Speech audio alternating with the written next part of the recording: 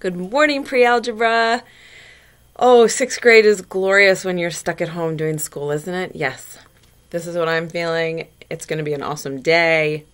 Let's do some math. So, we're going to spend um, our math time today going back and reviewing um, simplifying radicals. I'm pretty sure we've done this before. Sometimes I get lost in what we've done and what we haven't done, but I'm pretty sure we've taken a look at this before, so let's take a look at it today, okay? And if we haven't and you lost, then then contact me and we'll do a one-on-one lesson. It's, a, it's not a problem, okay? So, we know that the square root of 9 equals 3, right? The square root of 9 is 3.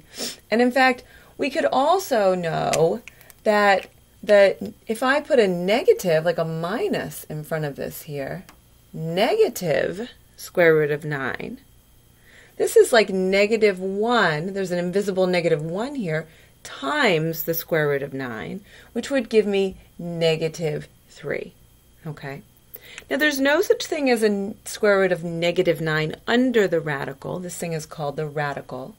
But there is, we could put negative 1 times the square root of 9, which equals negative 3. Okay, so, so that comes up on one of the pages today. So if there's a negative sign, and you can see my work, right? You can see my examples.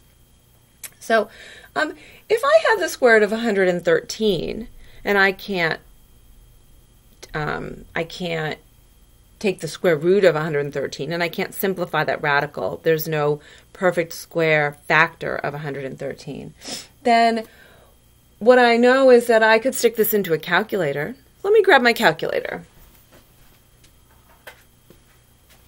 Okay, you got yours.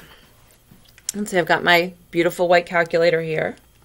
Um, on this calculator, I think we've talked about it before, I would do second and then the little caret button right there. So second, little rooftop, and that gives me the square root.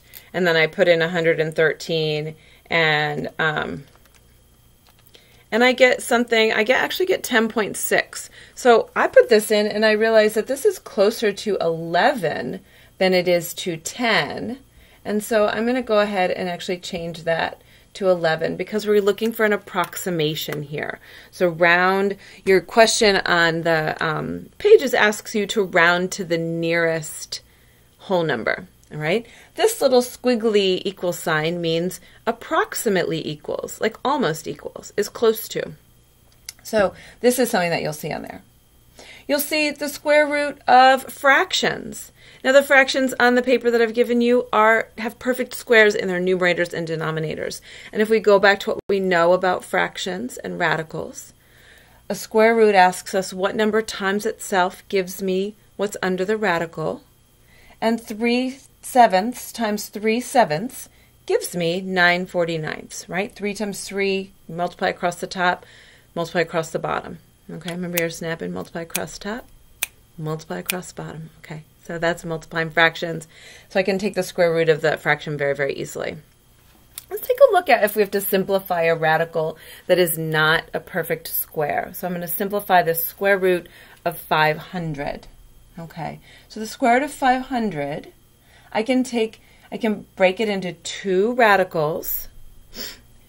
On the left, I'm going to put the radical with the largest perfect square factor I can find right? So if I look at 500, it's divisible by 4. So I could have put 4 over there. But the largest factor of 500 that is also a perfect square is 100. So I took 100 and I put it on the left. And then what is left? 5, right? 100 times 5 equals 500. So I put this into a radical on the right. And I do that because I want to be able to actually take the square root of whatever's on the left have the radical do its job on that number, right? Take the square root of it. So square root of 100 is 10.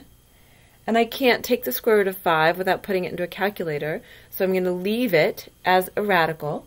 And, write, and I'd say this 10 root 5. Okay? So there are several examples of those I'd like you to do, please. And you can see all of my work and my examples to help you right? So please take a look at that. And then we've got some examples where we've got some variables under the radical. Again, we're going to do this piece by piece, right?